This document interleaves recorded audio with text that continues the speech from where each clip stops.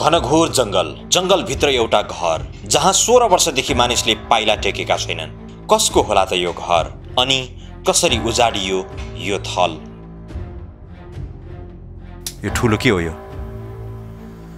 यो चाहिँ यो ऊ रहेछ स्पिकर रहेछ स्पिकर। चौध पन्ध्र वर्षसम्म मानिसहरू नबसेपछि एउटा घर पनि भूत बङ्गाला जस्तो देखिँदो रहेछ। पुर्ने भनेर मरेको वस्तुहरू पनि पुरिएको ठाउँमा यतै सायद यतै होला। स्यालहरू आइरहेको हुन्छ उनीहरू वासस्थान स्यालहरू त वासस्थान पनि हुनसक्छ बेलुकातिर होइन? किन घारी छ ऊ छ। त्यो भएपछि बाघै त आउँछ किनभने बाघहरू नि आउँछ। हो।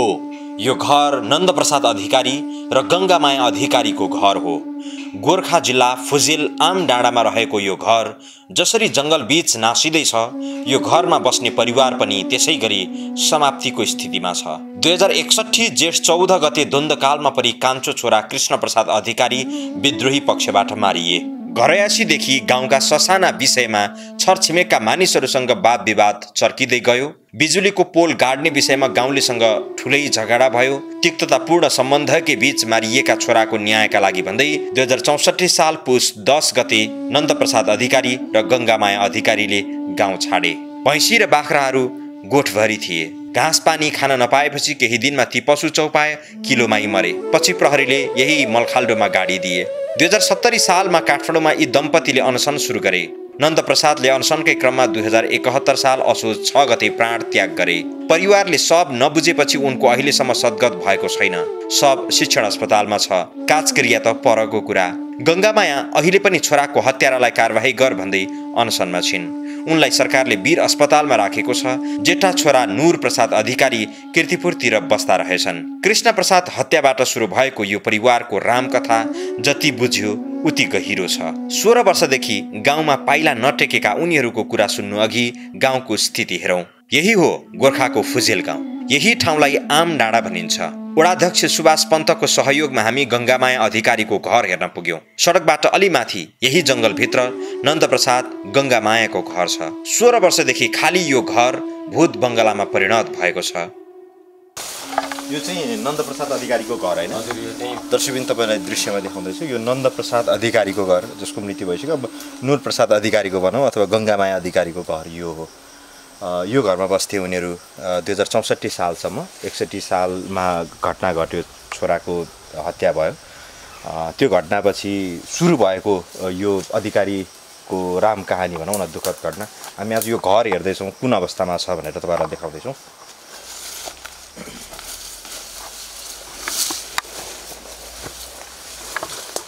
त कोही पनि आउँदो रहेछ भन्ने कुरा देख्यो है अब बाटै छैन। उहाँहरू उठेपछि यहाँ कोही पनि आउँदैन। कोही नै आउँदैन। आउँदैन। यहाँ कोही पनि आइपुगेको छैन अहिलेसम्म उहाँहरू घरबाट गएदेखि। यो गोठमा बस्तु थियो। यो गोठमा बस्तु छँदाखेरि चाहिँ यहाँ मुनिबाट यो गोठ हो। यहाँ बस्तु छँदाखेरि चाहिँ कोही मान्छेहरू त्यो दाम्लामा परेको वस्तुहरूलाई चाहिँ गर्न आउनुभयो पुर्दिन आउनुभयो। त्यति काम चाहिँ गर्नुभयो अर्थो वस्तु भाउ सबै पुरेको यहीँ मुनि हो? अँ यहीँ तल पुर्नु भयो सोह्र वर्षदेखिको माकुराको चाल। हालमा कोही आएको छैन। यही चाहिँ के अरे यही यही पत्र टाँस्न चाहिँ के अरे दुई तिन पटक आउनुभयो अरे जिल्ला अदालतबाट। शिरीष दादा आउनुभयो त्यसभन्दा अरू यो घरमा कोही टेक्ने आउने त्यो कुरा अहिलेसम्म हामीले सुनेका छैनौँ। आज हामी पत्रकार आयौँ त्यो पनि अध्यक्षज्यू हामी सँगै आयौँ। हो सँगै आयौँ। तर पनि पहिलोचोटि आउनुभयो म त दुई दुईचोटि आइसकेँ। यो गत वर्ष यो के अरे जेठ अठार गति यही टाँस्नको लागि आएको थिएँ। अरे सेतादारले तपाईँ चाहिँ के अरे उपस्थित टाँसौँ भन्नुभयो। त्यसै कारणले सहयोग गर्नु उहाँको सहयोगको लागि आएको थिएँ म। यो माथि यस्तो दलनमा चाहिँ भर्याङ हुन्छ यो। रहन्छ पहिलेदेखि त्यो थाहा भएन कसरी के भयो। चौसठी सालदेखि अहिलेसम्म यो घरमा कोही छैन। र अध्यक्षज्यू कुरो र पहिलोपटक यो घरभित्र क्यामेरा यसरी देखाइँदैछ तपाईँलाई दृश्य देखाउँदैछौँ हामी।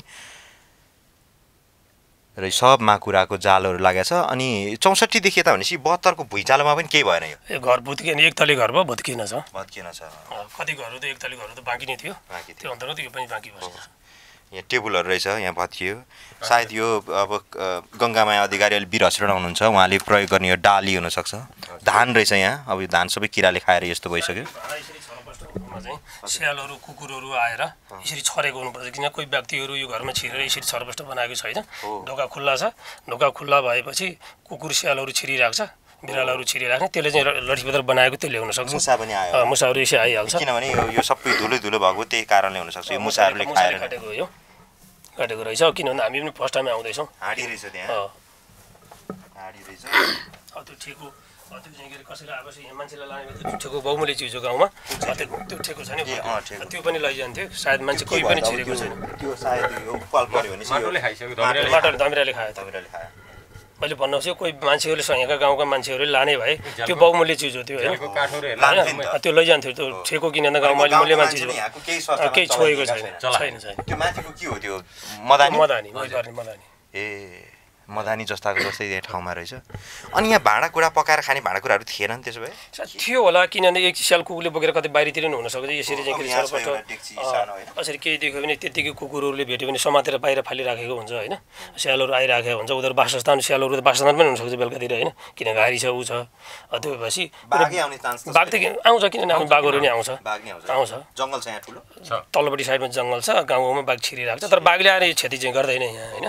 फोहोर फोहोर उठाउने चिज रहेछ यहाँ। त्यो बेलामा पनि रहेछ त है। अँ, त्यो बेलामा पनि रहेछ है। त्यही त नि। सोह्र वर्ष अगाडि पनि रहेछ।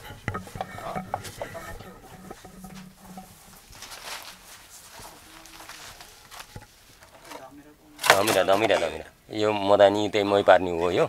काइयो रहेछ त्यहाँ। हजुर हेरौँ काठ। जतिसम्म खाइसक्यो धमिराले खाइसक्यो। कराई गयो खियामा गयो त्यो। तपाईँको शुभ नाम चाहिँ के भन्नुभयो? मेरो दिपक तिवारी। दिपक तिवारी। हजुर। हाम्रो सीता अधिकारीको भाइ। माइती पक्ष भाइ। कान्छी बुवा कान्छो बुवाको छोरा होइन? स्याल कुकुर आएछ। बाख्राको खोर हो यो। बाख्राको बाख्राको खोर पहिलाको अब चाहिँ के अरे बाख्रा यसमा थुनिन्छ चलाउनु गाउँमा पहिला पहिला अन्तखेरि यो चाहिँ के अरे यो पनि अब छरपष्ट भत्किने अवस्थामा। यो पक्कै त्यहाँ पनि स्यालहरू कुकुरहरू हिँड्छ। यसरी यसरी यहाँ यिनीहरू बस्यो यहीँ दिशा गरेर यहाँ आएर बसिराख्यो नि रात बिता पक्कै। हो, हो, हो। भर्याङ रहेनछ त्यही पनि हामी क्यामेरालाई यसो उठाएर खिच्दैछौँ। माथिल्लो तल्लामा के देखिन्छ त भनेर। माथिल्लो तल्ला यो कौसी रहेछ यो चाहिँ। यो कौसीमा चाहिँ लत्ता कपडाहरू देखियो यहाँ सारी यो ठुलो के हो यो? यो चाहिँ ऊ रहेछ स्पिकर रहेछ स्पिकर। ठुलो स्पिकर रहेछ। र यहाँ घडी पनि देख्यौँ हामीले सानो। बत्ती थिएन अध्यक्षज्यू यहाँ पहिला त्यतिखेर? त्रिसठी त्रिसठी सालमा बत्ती जोडिएको हो। हजुर। अनि बत्ती जोडी पनि अब त्रिसठी भनेपछि त त्यो एक वर्षको अन्तराल त भयो। टुकी त पहिल्यैदेखि प्रयोग गरिराख्यो। हो। अलिकति होइन धेरै नै थियो होला है त्यो बत्तीको विषयमा पनि। पोल पोल गाडेको पोल चाहिँ काटेर हिँडेको भन्ने। बत्ती सिरक डस्ना रहेछ यहाँनिर। सायद यहाँ सुत्नुहुन्थ्यो होला उहाँहरू। विद्युतको लाइनको लागि भनेर चाहिँ पोल गाडिएको थियो। पोल गाडिएको ठाउँमा चाहिँ उहाँहरूले चाहिँ पोल काट काट्नु भएछ। अनि त्यसपछि भोलिपल्ट आएर चाहिँ जस्तो अब विद्युत लान त दिन पऱ्यो कसैको जग्गा भनेर चाहिँ विद्युत लान पर्ने ठाउँमा त आवश्यक परेको ठाउँमा त छोड्ने कुरो भएन। र अनि किन काटिस् तैँले पोल? भनेर अनि यहाँ गाउँको समाजसँग त्यति बेला छविलाल पौडेल हुनुहुन्थ्यो यहाँको त्यो नेतृत्व। अनि छविलाल पौडेलले चाहिँ किन काटिस् यो पोल भनेर अनि चाहिँ त्यही गाउँले समाजले चाहिँ एउटा रुख काटिदिनु भएको थियो अरे। र अनि त्यसपछि उहाँहरू त्यही त्यसैको लगत्तै उठेर जानुभयो यहाँबाट। त्यो सानसानो विवादहरू पनि सबै त्यही त्यही हो। खासै विवाद होइन अरू विवाद त केही पनि थिएन त्यही नै हो विवाद। ठुलो घारी भएको छ दर्शकबिन्द यहाँनिर अब चौध पन्ध्र वर्षसम्म मानिसहरू नबसेपछि एउटा घर पनि भूत बङ्गाला जस्तो देखिँदो रहेछ। यो चाहिँ गोठ होइन के भएको थियो भनिदिनुहोस् त्यतिखेर यो अम्, वस्तुभाउ पनि गाउँलेलाई नहेर भनेर उहाँहरूले भन्नुभएको भन्ने हामीले सुनेको होइन? त्यसपछि वस्तुभाउहरू किलोमै मरे अरे खान नपाएर भन्ने सुनेको अलिकति बताइदिनुहोस् अँ, त्यही हो त्यो समयमा म पनि अब काठमाडौँतिर थिएँ। अब हामीले सुन्दाखेरि यो चर्चाको विषय थियो। अनि हामीले सुन्दाखेरि गोठमा वस्तुहरू पायो खान नपाएर मरेको छ कराएको छ बाख्राहरू छु खुल्लै दौडिराखेको छ त्यतिकै हुँदा हुँदै अब बाख्रा निकै स्याल बाघले के खायो होला कति। अनि वस्तु त्यहीँ यहीँ किल्लामै मऱ्यो भनेपछि अनि चाहिँ गाउँले मिलेर पछि जे पर्छ पर्छ भनेर पुर्ने काम भयो भन्ने कुराहरू प्रशासन बोलाएर रोबरमा पुर्ने भनेर मरेको वस्तुहरू पनि पुरिएको ठाउँमा भन्ने पुरेको? यतै सायद यतै होला। कोही कोही छिर्दैन। यो बाटोबाट माथि यो एरिया कोही पनि छिर्दैन मान्छे छिर्दैन। आज तपाईँहरू आएर म दोस्रो पटक आइपुगेँ आज यो ठाउँमा। पोहोर चाहिँ के अरे अदालतीको उसमा श्रेष्ठता आउँदा आएको थिएँ। आज म दोस्रोचोटि आइपुगेँ। नभए यहाँ मान्छेहरू के भयो होला अनि के छ होला भने कोही पनि हेर्न पनि आउँदैन। यानि कि यहाँ तित्र कुखुराहरू आयो भने त्यसलाई मार्न भनेर त्यो मार्न भनेर पनि कोही चाहिँ के अन्त मार्न जान्छ त्यो सिखार खेल्न जान्छ नि यहाँ तित्र कुखुरा आयो भने त्यो अरू शरीरको मान्छेहरू त्यो पनि आउँदैन। त्यो चाहिँ डरले हो कि घृणाले कि के त्यो घृणा त होइन। डर एक हिसाबले त्यहाँ गएपछि यसो एउटा अब्जेक्सन आउँछ। के जानेर जस्तो मान्छेलाई त्यही नै हो। जस्तो चाहिँ के अरे हिजो वस्तुलाई घाँस हालिस् भने अनि मेरो वस्तु चाहिँ के अरे रेखदेख गरिस् भने त्यसलाई मुद्दा हाल्छु भन्ने। र मुद्दा चाहिँ के अरे अहिले चाहिँ के दस एघारजना मुद्दा लागिराखेको केही छैन अब कसैलाई जस्तो काकीले नै त मुद्दा हाल्नु परेको छैन नि त। दिदीले नै त मुद्दा हाल्नु परेको छैन नि त। यस्तो यस्तो आफैलाई त आफ्नै परिवार त यस्तो छ। अरूलाई के होला भन्ने पनि लागिराखेको होला। गाउँलेका अनुसार छोराको हत्यारा भन्दै अधिकारी दम्पतिले गाउँलेको नाम जोसे जिल्ला अदालत चितवनले उनीहरूलाई निर्दोष रहेको फैसला गर्यो। पुनरावेदनका लागि मुद्दा सर्वोच्च अदालतमा पुगेको छ। आफ्नै भाइ बुहारी सीता अधिकारीसहित गाउँलेहरू मुद्दा खेप्दै अदालत धाइरहेका छन्। कसैको करकापमा परेर मर्नु त मार्नु त मारे छोरो मारे हो। मारे कसले माऱ्यो कसले माऱ्यो कहाँ मारे कसले माऱ्यो थाहा भएन।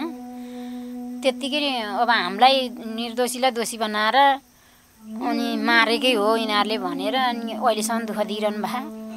मुद्दा हालेछन् चार वर्ष भरतपुर हिँडियो दुई वर्ष हिँडुँडा हिँडियो अहिले काठमाडौँमा पारिखा मेरो गाडी भाडा पनि अर्कैले हालिदिनुपर्छ सर। मसँग आउने बाटो केही छैन।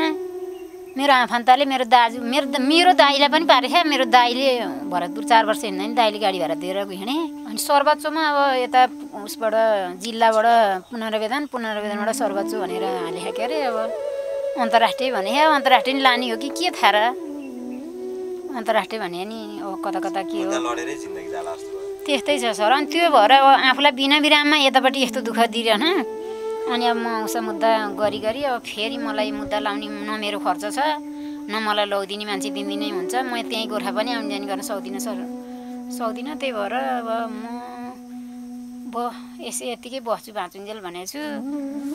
छैन सर अब बेचेर ऋण तिर्न पाउनु नि छैन। बेचेर अर्को ठाउँमा यसो कतै जाम भन्ने नि छैन।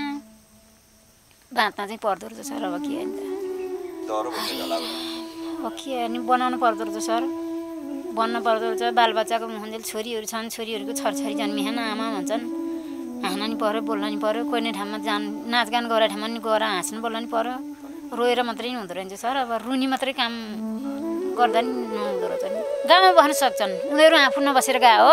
अब केही नभनी जान त पाइयो अलि अप्ठ्यारो भयो नि त। केही नि नभनी केही नगरी जानलाई। उनीहरू आफै निस्केर गयो छोरो मारे नि खोज्न भन्दै। गाउँबाट कसैले केही गरेको छैन सर। सीताको बिजोग अहिले झनै बढेर गएको छ। दाजुभाइमा अंशबन्डा नभएकाले सीता सम्पत्ति विहीन अवस्थामा छिन्। श्रीमानको यो घटना अगावै रुखबाट लडेर मृत्यु भइसक्यो। तीन छोरीहरू थिए।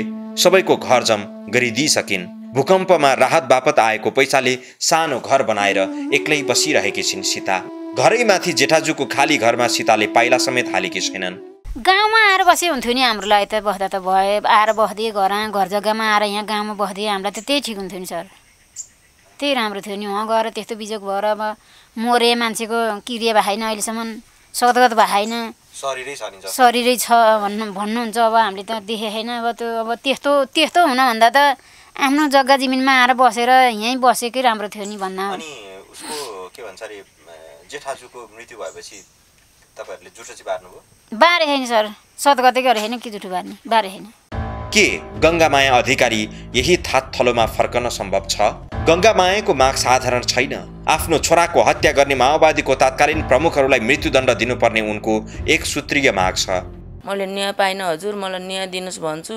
अब कुन राष्ट्रमा पठाउँछ न्याय दिनलाई? अब कुन चाहिँ सरकार कुन जङ्गबहादुर जन्मिन पर्छ मलाई न्याय दिनलाई? अब त्यो हेर्न हेर्न हेर्न। यिनीहरूलाई त अब टुँडीखेला फाँसी दिने मैले त। यिनीहरूले मैले न्याय पाउन त यो भट्टाई पर्चन्ने लगायतका मेरा गाउँका पोल्या छु नि मैले। मेरा गाउँका अपराधी मैले त छविलाल पौडेल भीमसिंह पौडेल परशुराम पौडेल जनुका पौडेल दुईजना अधिकारी भनेर मैले डाम्या छु नि अपराधी। जुन कल्पनाभन्दा बाहिर देखिन्छ।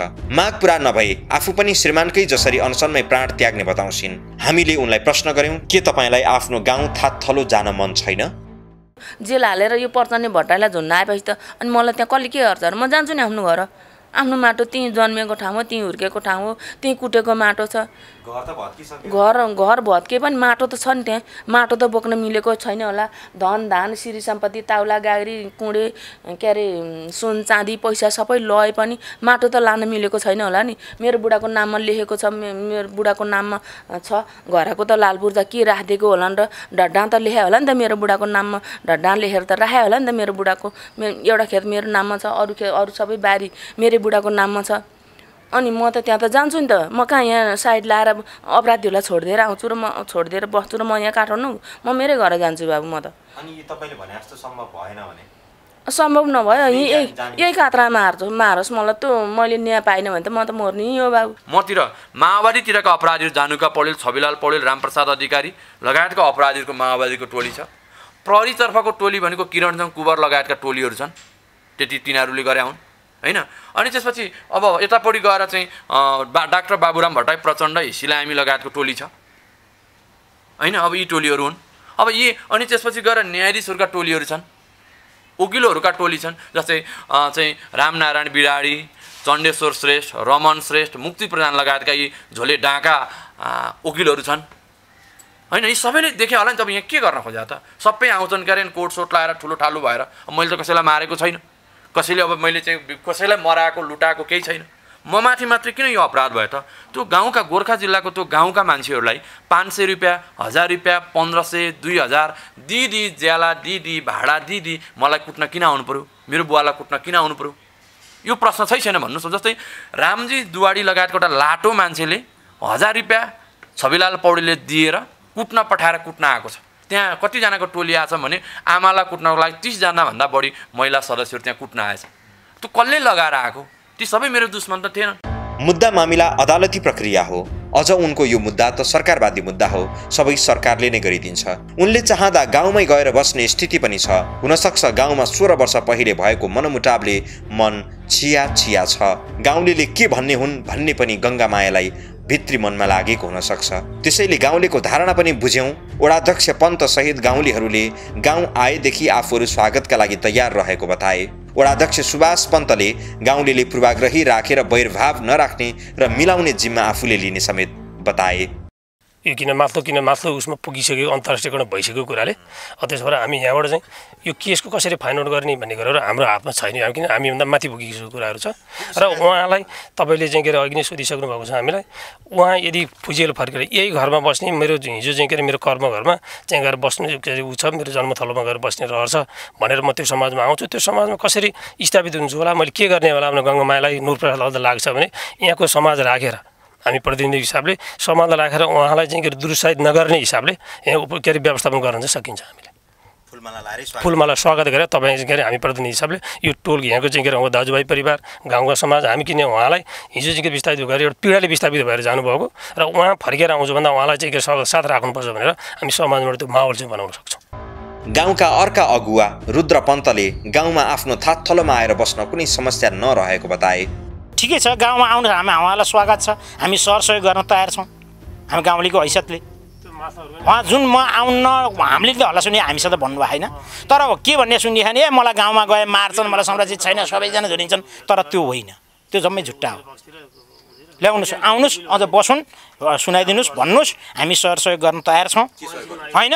उहाँहरूले चाहिँ सामाजिक जरुरी हाम्रो छरछिमेकको हैसियतले सहयोग गर्न तयार छौँ। त्यो घरमा आएर बस्ने वातावरणमा हामीले के गर्नुपर्छ? हामी त्यो गर्न तयार छौँ। होइन बनाउन सकिन्छ। गाउँले हैसियतले हामीले गएर चाहिँ गएर अरूको घरमा सरसहयोग गराउँदाखेरि बनाउँदाखेरि सहयोग गऱ्यो भने त्यो घर बनाउन सकिन्न? छरछिमेक मर्न सकिन्न र? कृष्ण प्रसादको हत्या अधिकारी दम्पतिको गाउँ छोडाई लामो समयदेखिको अनसन आन्दोलन र बारम्बारको मिडिया चर्चाले वास्तवमा फुजेल उजाडिएको रहेछ। यहाँका मानिसहरू मानवाधिकारवादी र मिडियाका मानिस आए भनेपछि मन सानो बनाउँदा रहेछन्। यसअघि फुजेलको वास्तविकतालाई तोडमोड गरेर रिपोर्ट दिँदा आफूहरूलाई आघात पुगेको बताउँदा रहेछन्।